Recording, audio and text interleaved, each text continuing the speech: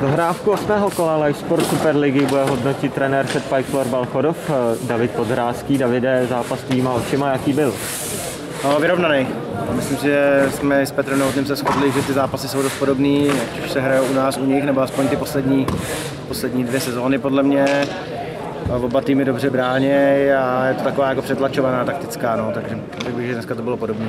Zajímavý závěr druhé třetiny, kdy vy jste nejprve přečkali dvouminutové oslabení, řádně vás to nabudilo a pak jste se dostali sami do početní výhody, navíc dvojnásobné. Um, chtěli jste v téhle pasáži uh, zlomit ten zápas? Tak nevím, jestli zlomit, protože to bylo ještě to pořád hodně brzy a ty třetí třetiny z Boleslaví jsou vždycky strašně složitý, ale samozřejmě možná se tam dalo udělat ještě víc. Na druhou stranu jsme tu přesilovku 5 na 3 proměnili, zbytek jsme si přinesli do třetí třetiny a nějaká šance tam byla i pak. Ale říkám, pořád tam bylo hodně času, takže to asi nebyl nějaký zlomový moment.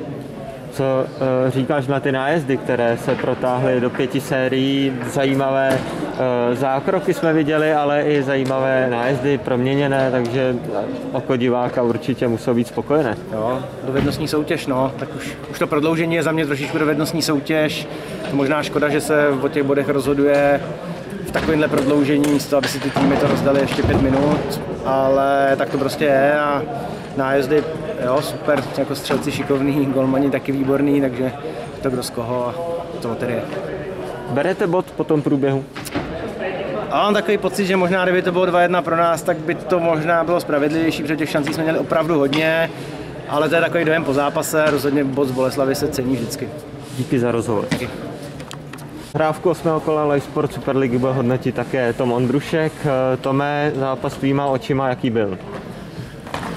Uh, myslím si, že um, si to zasloužil plnou tribunu. Samozřejmě myslím si, že to odpovídalo zápasu České televize. Uh, bylo to, řekl bych, kvalitní utkání s dobrýma individuálníma výkonama na obou stranách.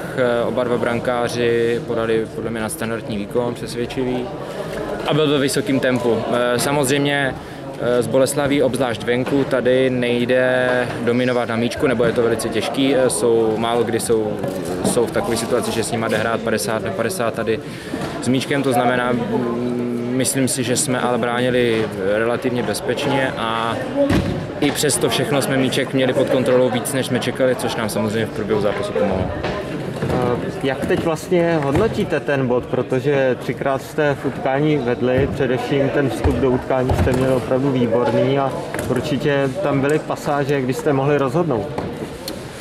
Uh, ano, ale je potřeba respektovat sílu soupeře, který si samozřejmě vytvořil taky šance. Myslím si, že v první polovině zápasu jsme měli těch vyloženějších víc, to je pravda. Na druhou stranu, jak jsem říkal, brankáři a ty obrany a, a backchecking bylo na vysoké úrovni dneska z obou stran. Ale jestli, si, jestli jsme někdy měli pomýšlet na vítězství, tak to bylo za stavu 3-2, kdy si myslím, že už bylo relativně málo času. E, měli jsme tu obranu pod kontrolou a dostali jsme hloupý gol ze standardky, který si jako nemůžeme dovolit dostat. Relativně jednoduchá situace, to musíme zvládnout. Díky za rozhovor. Díky.